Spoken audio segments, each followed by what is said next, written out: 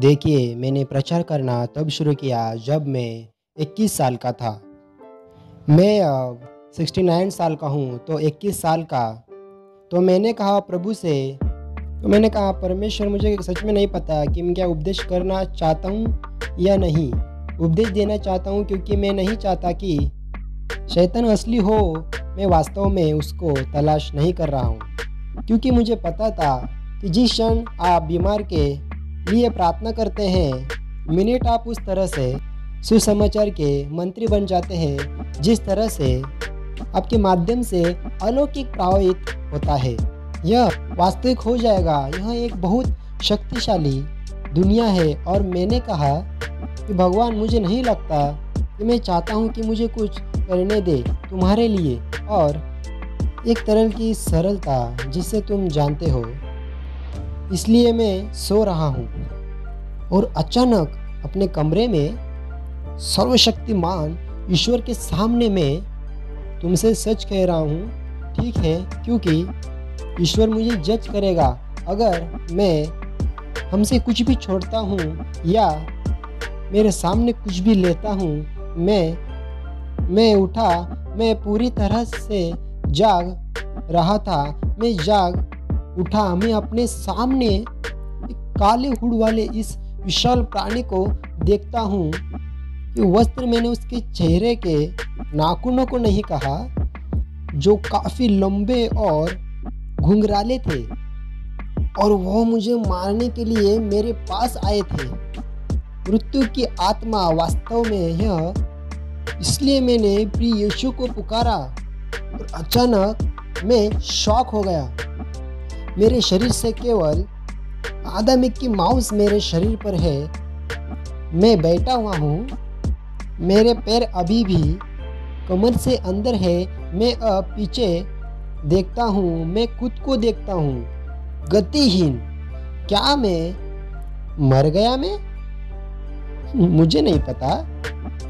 स्पष्ट रूप से नहीं जानता। मुझे परवाह नहीं है। बिल्कुल भी। क्योंकि मैं जीवित था।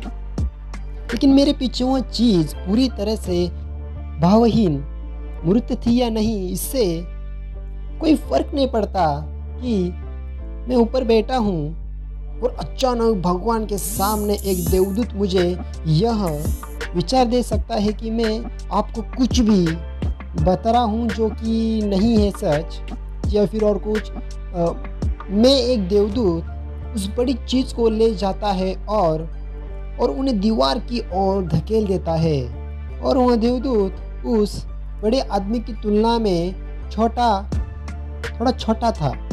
इससे कोई फ़र्क नहीं पड़ता। हालाँकि उसने उसे पकड़ रखा था और फिर एक और देवदूत अंदर आता है और ठीक मेरे बगल में खड़ा हो जाता है।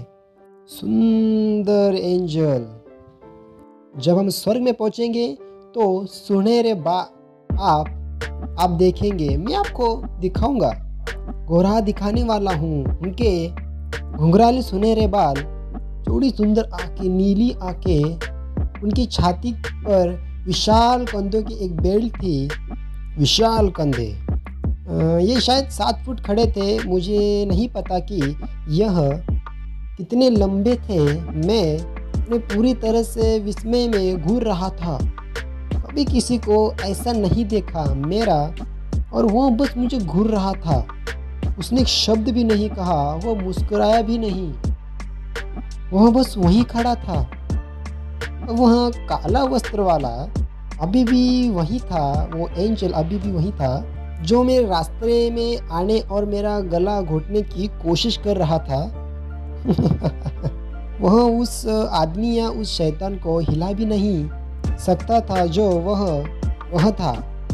और और तीसरा देवदूत अंदर आता है और कह, कहता है और मेरे सामने सुंदर एंजल से कहता है उसने उसने उसे माइकल कहा दो बार माइकल कहा उसने कहा उसने कहा कि माइकल माइकल। और कोई मुसीबत में है और वह उससे कहता है इसके साथ यह गहरी आवाज़ मेरे पास निकलती है और कहती है, तुम उसकी देखभाल करते हो और और दूसरी बार वह चला गया है।